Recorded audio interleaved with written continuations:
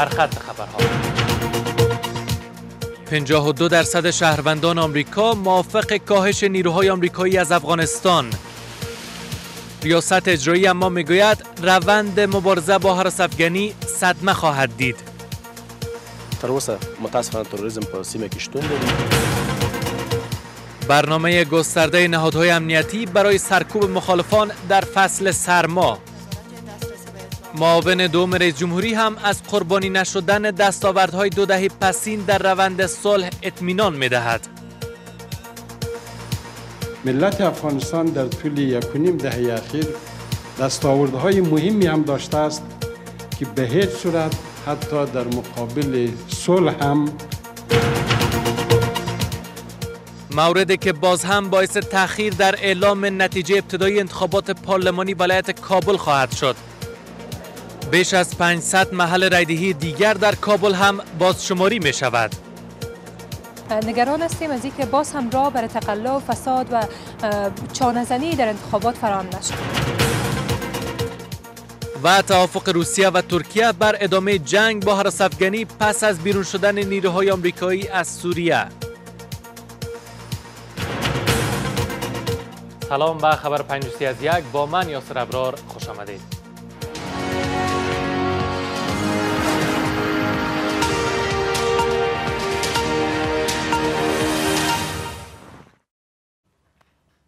مشروع خبرها بر بنیاد یک نظرسنجی تازه در آمریکا 52 درصد شهروندان این کشور از تصمیم دونالد ترامپ برای کاهش نیروهای آمریکایی از افغانستان پشتیبانی کردند.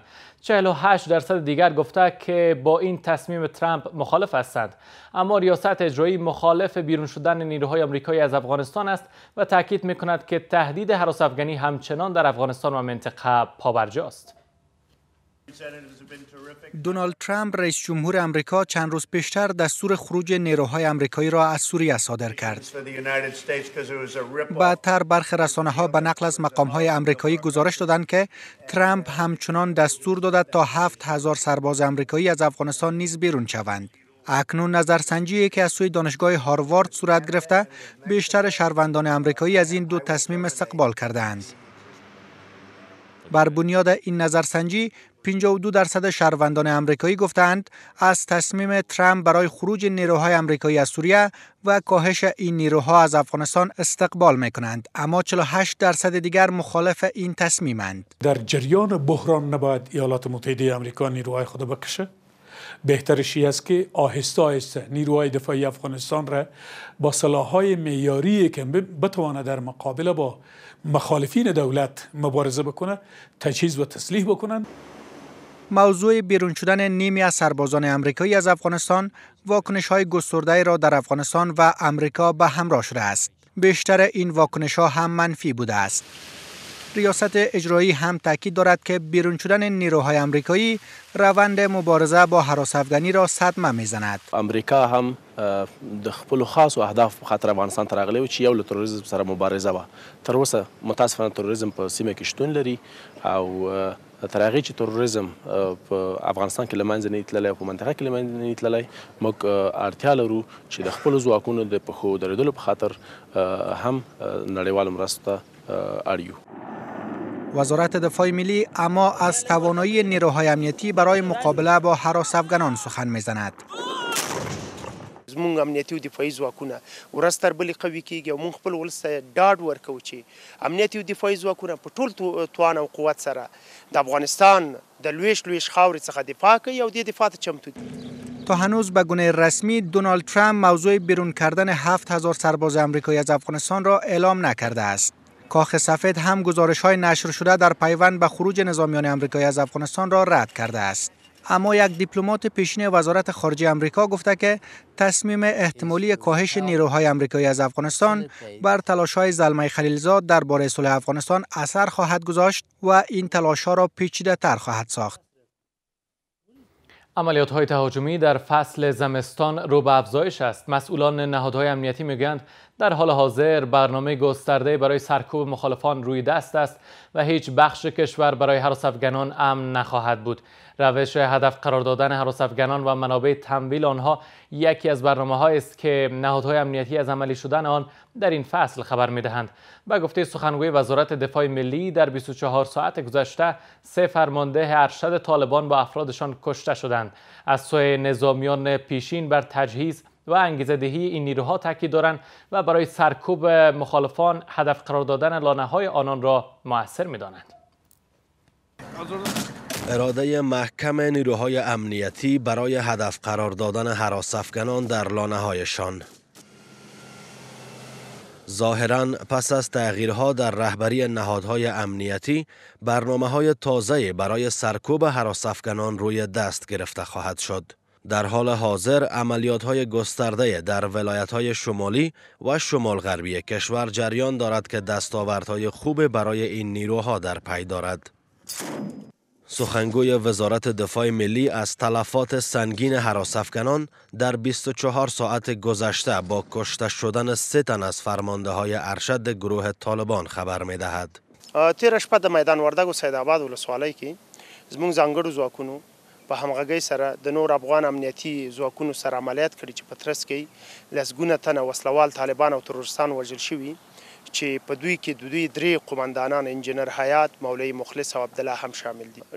د دې ترڅنګ چې اضافه کیږي به هغه صاحب لمنځه وړل کیږي چیرته چې دښمن پلان جوړي چیرته چې د هغوی مالی سرچینې مواد مخدر چیرته چې د هغوی روزنځایونه دي هغه به هم پناخه کیږي. ظاهرا گفته های سرپرستان تازه نهادهای امنیتی در پیوند به هدف قرار دادن افغانان در پناهگاه هایشان در حال عملی شدن است وزارت امور داخله از حمله به لانه های حراس افغانان سخن می‌زند و از هدف قرار دادن این گروه ها در فصل سرما خبر می دهد. خصوصا در ایام زمستان این حملات بیشتر میشه و به می ترتیب پلانا به مو که در زمستان تطبیق میشه در ماه آینده هم و در بهار و خزان آینده این تطبیق خواهد شد و کوشی است که دشمنای مردم افغانستان در هر جایی که باشه در هر مکانی که باشه اونا باید تحت هدف عملیات های نیروی امنیتی و دفاعی کشور قرار بگیره هرچند خوشبینی ها از تغییرات تازه در نهادهای امنیتی بلند است اما با آن هم نظامیان پیشین فساد در این نهادها را عامل تضعیف روحیه نیروهای امنیتی می دانند و در کنار تجهیز درست انگیزه دهی به سربازان را کارساز می دانند. برای نیروهای مسئله و دفاعی کشور ما و امنیتی کشور ما باید انگیزه داده شود انگیزه وطنی دفاع از وطن دفاع از عزت و آبروی مردم و از دین مبین اسلام که ارزش ما است. از این باید کوشش شود که یک انگیزه باید داده شود.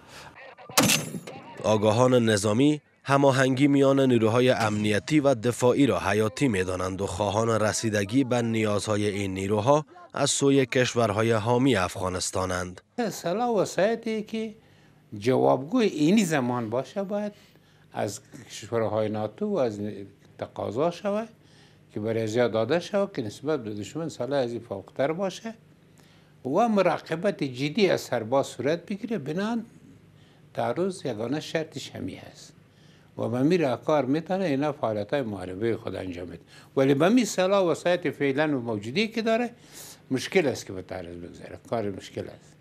نیروهای امنیتی و ناتو سالهاست در پی نابودی حراس افغانان در افغانستانند اما با گذشت نزدیک به دو دهه هنوز حراس افغانان در بخشهای از کشور فعالند و هر از گاه دست به حملات بر ضد نیروهای امنیتی می‌زنند حالا باید دید که تغییرهای تازه در سطح رهبری نیروهای امنیتی تا چه اندازه می تواند تاثیرات مستقیم بر معادلات جنگ در میدانهای نبرد بگذارد.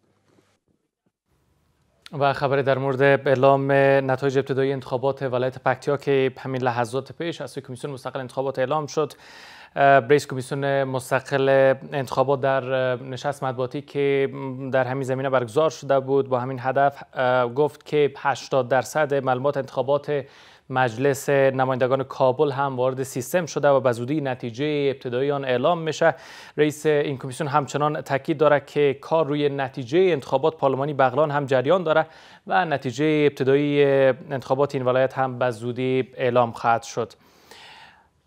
دستاوردهای دو دهه پسین قربانی روند صلح نخواهد شد. معاون دوم ریاست جمهوری در مراسم معرفی عضوهای کمیسیون دسترسی به اطلاعات می‌گوید که حکومت افغانستان از هر اقدامی برای رسیدن به صلح استقبال می کند اما تاکید می کند دستاوردهای 17 سال به ویژه آزادی بیان و رسانه ها معامله نمی شود آقای دانش دسترسی به اطلاعات را سنگ تهداب حکومت داری خوب می‌داند تا می‌گوید که بدون آزادی بیان صلح پایدار ممکن نیست. همزمان شماری از عضوهای جدید کمیسیون دسترسی به اطلاعات تاکید می‌کنند که محدودیت دسترسی به اطلاعات زمینه گسترش فساد اداری را در کشور فراهم می‌کند. تعیین حد و مرز به گروهی که هیچ اعتنایی به حکومت ندارد. با آنکه طالبان هیچ گونه چراغ سبز برای گفتگوی صلح با حکومت نشان ندادند و همواره از گفتگوهای مستقیم با حکومت ابا ورزیده و امریکا را طرف اصلی گفتگو کننده صلح می‌خوانند. معاون دوم ریاست جمهوری اینجا در برنامه معرفی عضوهای جدید کمیسیون دسترسی به اطلاعات تاکید می‌کند که دستاوردهای دو دهه پسین به هیچ عنوان در روند صلح معامله نمی شود. آقای دانش می گوید که حکومت افغانستان آماده هر گونه گفتگو برای برقراری صلح در کشور است اما به باور او قیمت صلح به ارزش از دست دادن حقوق اساسی شهروندان و دستاوردهای پسین به ویژه آزادی بیان نخواهد بود ملت افغانستان در طول یک و نیم دهه اخیر دستاوردهای مهمی هم داشته است که به هیچ صورت حتی در مقابل صلح هم نمی‌توان از آنها دست برداشت. که در رأس همه آنها آزادی بیان و رسانه های آزاد در کشور است. معاون دوم رئیس جمهوری تهداب حکومتداری خوب و مردمی را دسترسی شهروندان و رسانه ها به اطلاعات می خواند و به این باور است که بدون دسترسی مردم به اطلاعات مبارزه با فساد اداری دشوار است. دسترسی به اطلاعات واقعا یکی از مهمترین راه های پیشگیری و یا مبارزه با فساد است اگر اداره مکلفیت نداشته باشد که اطلاعات لازم را در اختیار مردم قرار دهد با آسانی می تواند اعمال فسادزای خود را کتمان کند و از چنگ عدالت هم فرار کند آزادی بیان و رسانه ها همواره به عنوان یک دستاورد کلان 18 سال پسین خوانده می شود. چندی پیش قانون حق دسترسی به اطلاعات افغانستان مقام نخست را در سطح جهان نیز کسب کرد. اما آنچه که هنوز هم چالش پنداشته می شود نبودی قانون نیست بلکه گریز از قانون است. خلک اصلا د دې وړ نه بولی چې اطلاعات باید دوی ترلاسه کړي. دغه ذهنیت ختمول پکار ده. په زری موټر باندې موږ دولت نشو ساتي اما دغه ذهنیت په ختمولو سره او د اطلاعات لاسرسی د ذهنیت په ایجادولو سره موږ دولتونه ساتلی شو. یگانه دلیل محدودیت دسترسی به اطلاعات چنانچه تمام تحقیقات و پژوهش‌ها نشان داده وجود فساد و عدم پاسخگویی ادارات بوده. عین الدین بهادری، زهرا موسوی، حمدالله ارباب، فضل باری بریالی و نجیبه مرام پنج تنی که یک ماه پیش از میان 15 تن در فرمان رئیس جمهوری به عنوان عضوهای جدید کمیسیون دسترسی به اطلاعات گزینش شدند.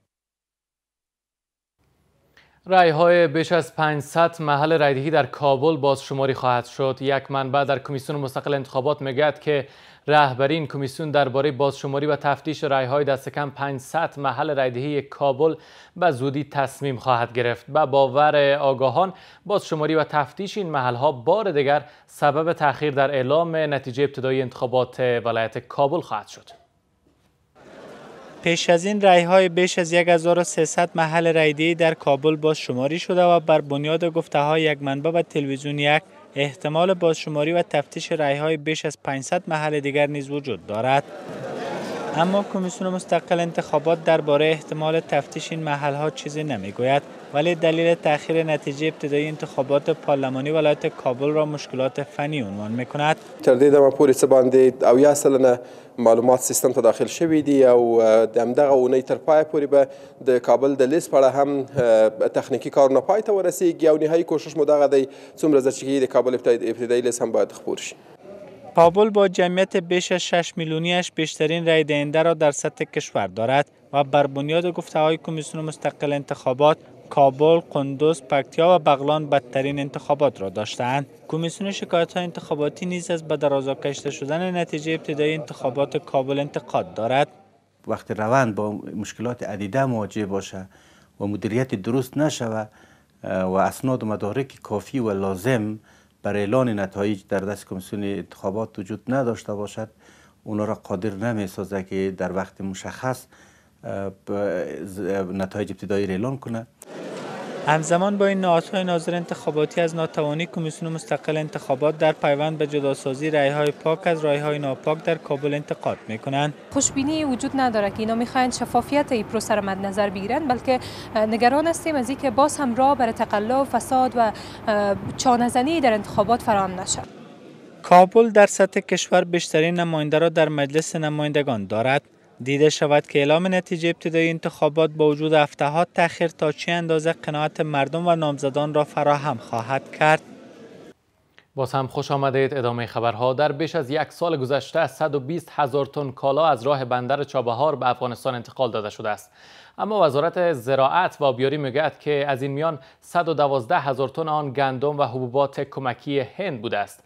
وزارت صنعت و تجارت نیز حجم بازرگانی در بندر چابهار را اندک می‌داند و از تلاشها برای گسترش روابط بازرگانی از طریق این بندر با هند و دیگر کشورهای جنوب آسیا خبر می‌دهد. تمیم شهیر گزارش می‌دهد.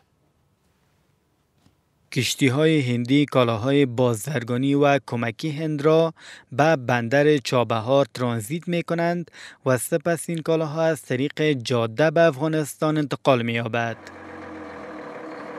در بیش از یک سال گذشته ده کشتی بزرگ 120 هزار تن کالا به شمول گندم و حبوبات را از راه این بندر به افغانستان ترانزیت کرده است. بندرهای کوچین، کندلا، ماندرا و جواهر لال نهرو به عنوان بندرهای مبدی بارگیری کالاهای ترانزیتی و صادراتی هند به بندر چابهار مشخص شدند. وزارت زراعت آبیاری و مالداری می‌گوید که تا حال 110 هزار تن گندم و 2200 تن حبوبات از راه بندر چابهار به کشور ترانزیت شده است. تا یک سال گذشته از طریق بندر چابهار 110 هزار متریک تن گندم کمکی هندوستان به ولایت نیمروز و از طریق نیمروز به سایر ولایت ها انتقال یافته در این زمان حدود چهار ماه قبل از طریق بندر چابهار 2200 متریک تن دال کمکی هندوستان نیز به افغانستان انتقال یافته است انتظار می رود با توسعه بندر چابهار در مرحله نخست ظرفیت آن از 2.5 میلیون تن به 8.5 میلیون تن افزایش یابد. اتاق تجارت می گوید هنوز این بندر ظرفیت لنگر انداختن کشتی های بزرگ را ندارد و به همین دلیل تا حال روند صادرات و واردات کالاهای بازرگانی از این بندر آغاز نشده است. متاسفانه تا هنوزم بنابر یک عده محدودیت ها که در اوج امکانات کشتی های کلان و مسائل لنگر انداختن کشتی کلان و شرایطی را که در اوج ایجاب می‌کنه تا هنوز هم بعضی محدودیت ها هست که اینقدر علاقمندی در اوج وجود نداره برای صادرات و واردات کالاها وزارت صنعت و تجارت نیز حجم تجارت از بندر چابهار را بسنده نمی‌داند اما تاکید دارد که تلاشها برای افزایش روند حجم بازرگانی از این بندر جریان دارد. خوشبختانه روند صادرات و واردات آغاز شده از بندر چابهار. اکنون وقت از است که سکتور خصوصی ما چقدر می‌تونن که از استفاده کنن چون این هم نزدیک هست هم کرایش کمتر است و هم آیسته داره ظرفیت ها بالاتر میره. ان تا سالهای دیگه من مطمئن هستم که دوران تجارت ما و واردات صادرات ما نسبت به امروز از بندر چابهار زیاد خواهد شد به تازگی یک شرکت هندی به نام LPGL مسئولیت تخلیه، بارگیری، تجهیزات و بازاریابی را در بندر چابهار به عهده گرفته و از این پس روند انتقال کالاهای صادراتی و وارداتی را ساده خواهد ساخت. و نمایندگان افغانستان، ایران و هند این شرکت را برای عملیاتی شدن این بندر به کار گماشتند. جنگجویان حوسی در یمن برای اجرای نخستین مرحله توافق صلح از بندر هدیده عقب نشینی کردند. گروه حوسی ها در جریان توافق صلحی که در اوایل ماه جاری در سویدن امضا کردند پذیرفتند که در بدل توقف حملات نیروهای دولت مرکزی یمن و حامیانش از بندر هدیده عقب نشینی کنند در مرحله بعد نیروهای دولتی نیز از مناطق اطراف عقب نشینی خواهند کرد. هفته گذشته یک گروه به رهبری پاتریک کومارت جنرال بازنشسته ارتش هالند به عنوان فرمانده نیروهای سازمان ملل وارد هدیده شد تا بر آتش بس نظارت کند. بر اساس توافق دو طرف نیروهای حافظ صلح بین‌المللی در منطقه مستقر خواهند شد و کمیته هماهنگی جابجایی نیروها با حضور نمایندگان دو طرف و بر ریاست آقای کامارت بر نقل و انتقال نیروهای نظامی نظارت خواهند کرد.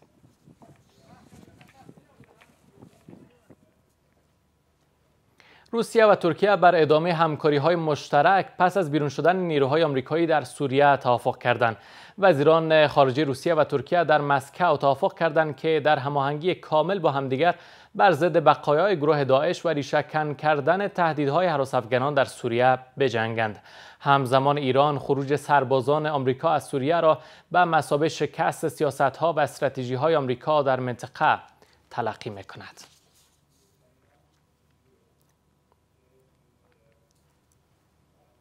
رئیس جمهور آمریکا از پیشرفت‌ها برای حل جنگ تجاری میان پکن و واشنگتن خبر می‌دهد. دونالد ترامپ در توییت اعلام کرد که با همتای چیناییش گفتگوی طولانی و خوب تلفنی انجام داده و دو طرف در حال نزدیک شدن به یک توافق تجاری مهمند.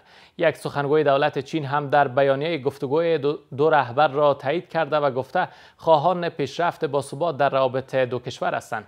رهبران چین و آمریکا در اوایل ماه دسامبر توافق کردند که روند اعمال طرفهای تجاری بیشتر را متوقف و راه را برای حل و فصل اختلافات پیدا کنند.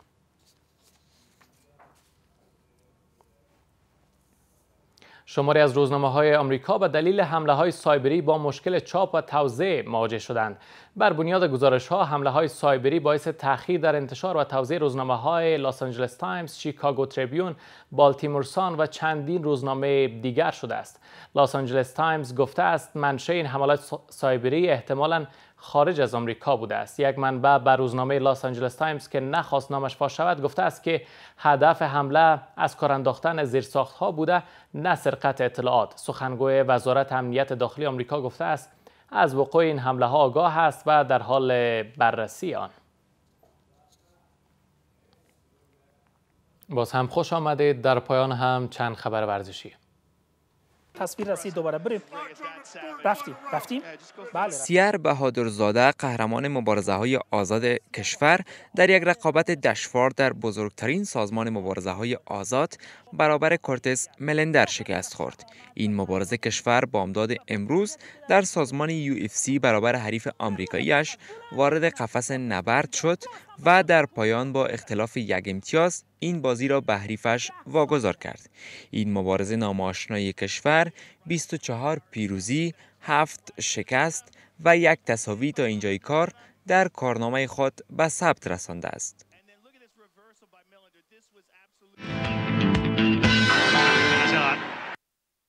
یک دور کارگاه آموزشی اسب سواری امروز در کابل برگزار شد. این کارگاه آموزشی با حضور بیش از سی ورزشکار و مربی از ولایت‌های لوگر، غزنی، لغمان، پروان، نورستان، وردک، ننگرهار و کابل برگزار شده بود و اشتراک کنندگان برای یک روز روش های تازه این رشته را فرا گرفتند. هدف از برگزاری این کارگاه آموزشی بلند بردن ظرفیت ورزشکاران و مربیان این رشته عنوان شده است. از سوی هم قرار است فردا رقابت های اسب سواری با حضور نماینده های هشت ولایت در کابل آغاز شود. سپاسگزار همراهیتان شب خوب پیش رو داشته باشید.